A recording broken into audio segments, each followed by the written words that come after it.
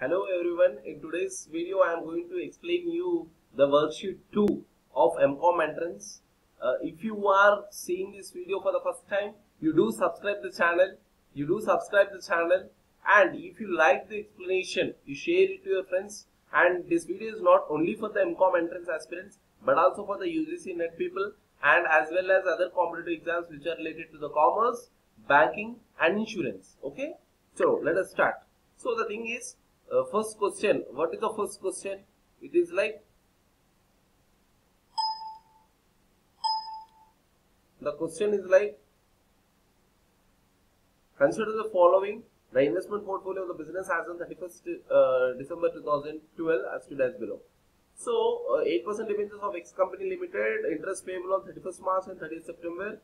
7% debentures of Y company limited, interest payable on 30th June and 31st December. 10% debentures of X, Z company limited, 9000, interest payable on 1st June and 1st December. So, amount of interest accrued on the closing date will be how much?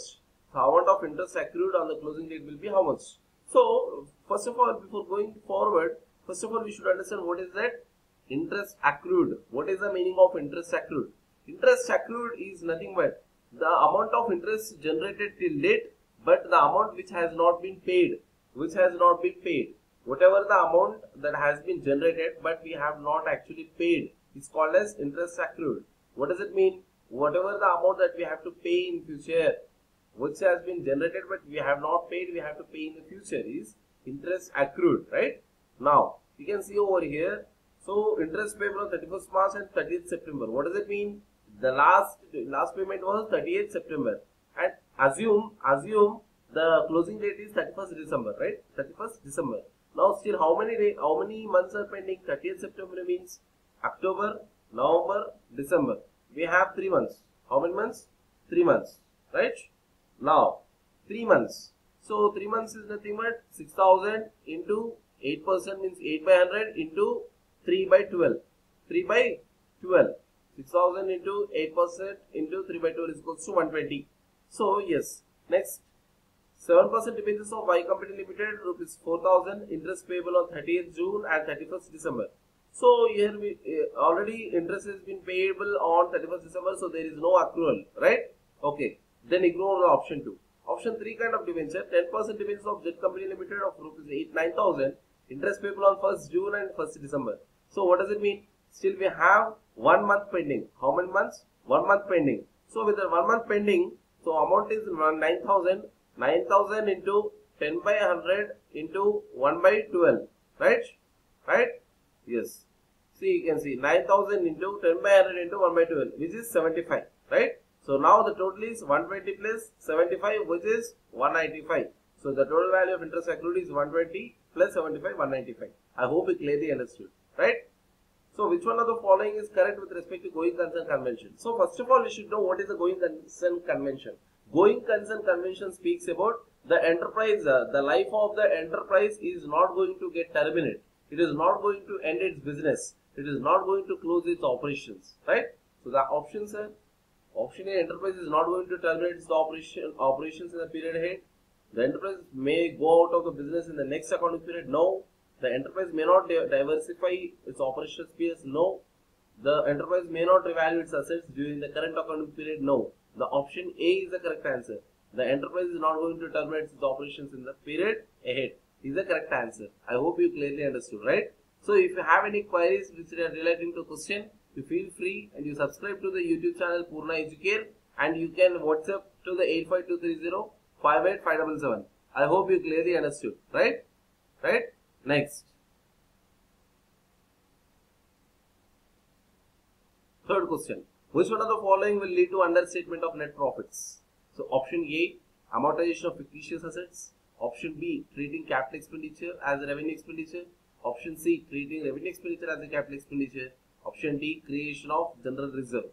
So with the amortization of these fictitious assets, so sometimes you know amortization of fictitious assets will also uh, leads to underestimate of net profit. So answer A is the correct answer. Option A is the correct answer. Fourth, which one of the following items is considered as uh, revenue expenditure? Revenue expenditures are the periodical payments made, right? Capital expenditures are those expenditures made to increase or enhance the operational ability, operational ability or production. In order to increase any kind of production, any kind of expenditure have been incurred, it will be treated as capital expenditure. Generally, capital expenditure is large in figure, large in amount. Now, coming back. So, in fourth question, we have options. Expenditure by way of maintaining that has increased the productivity. Option B, repair of gearbox in a car that has been enhanced its operational life. It is capital expenditure. Complete overall of a machine spending around 20% of its value. It is capital expenditure. Changing a small component of a machine to maintain its operational efficiency. Changing a small component of machine to maintain its operational efficiency. Yes, it is a small component. Small component. So it is revenue expenditure. Option D is the correct answer. Yeah. After the construction of their new factory building, Mrs. XYZ company shifted to it during the process of 20,000 which were spent on pulling down an old structure and rupees 2000 was spent on the shifting the stock to new building. These expenditures are to be classified. Here it is a large amount, it is a small amount. So 20,000 is a capital amount and 2000 is a revenue amount respectively. So option C is the correct answer. I hope you clearly understood, right? Next. Sixth question. Which one of the following reports should have been responsibility statement under the Companies Act 2013? Oh, responsibility statement is the statement which has been issued by the board of directors or the directors assuring, ensuring or assuring that the company has been followed with all the accounting concepts and accounting policies thereby whatever it's supposed to follow.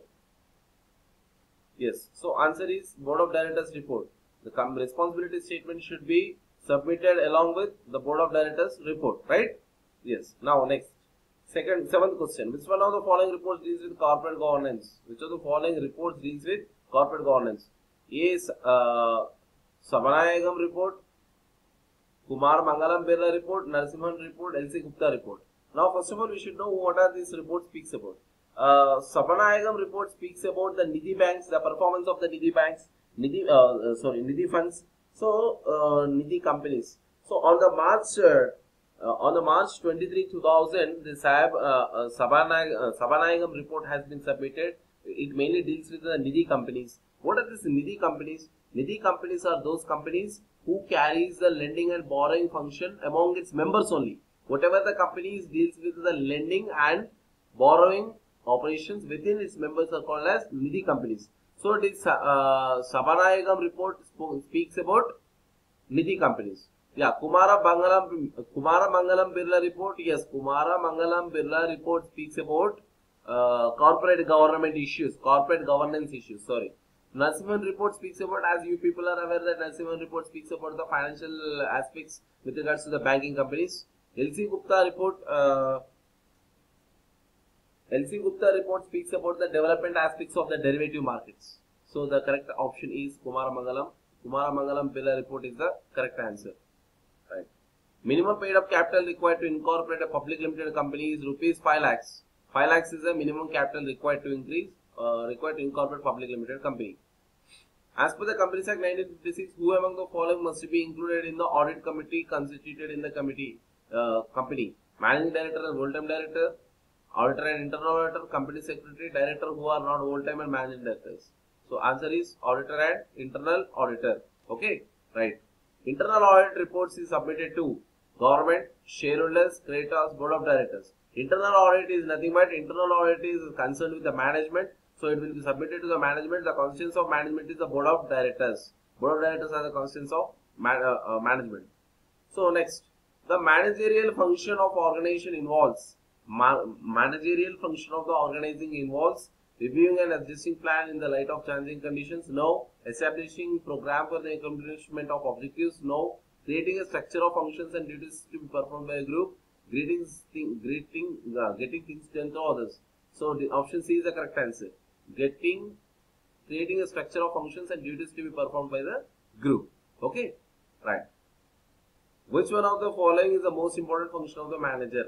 So option A communication, option B directing, option C supervising, option D decision making. Option B option B is the correct answer.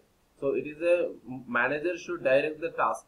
Manager should uh, direct the uh, task to be performed by his by his subordinates. When there are large number of smaller projects and activities of those projects are to be accomplished by setting up some, uh, some temporary departments, the appropriate organization structure should be. So, see, there are large number of uh, people in any kind of organizations. They are dealing with the small, small, small, small. Uh, they are dealing with the small, small, small projects. Actually, so uh, in the projects, you don't believe projects uh, in the projects generally all kind of uh, background people will be staying back it's like uh, finance it's like technology it's like front office back end whatever it might be so all the kind of segments will be involved in project.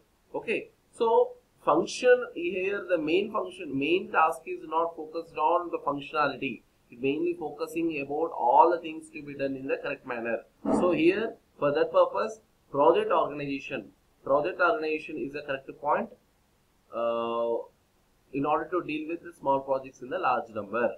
It's not functional organization matrix organization no. Divisional organization no the correct answer is project organization.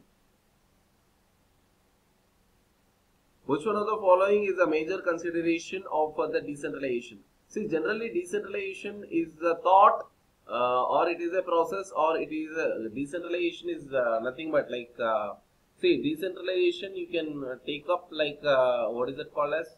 So it is a uh, decision making decentralization and the policy of the decentralization generally takes upon uh, in order to increase the attitude of the employees performances and all all the things so generally it depends upon the nature of the management functions so the correct answer is b organization requires narrow span of control if there are mature subordinates within, competent and trained managers, unclear plans for non-respective operations, well-defined plans for re re repetitive operations.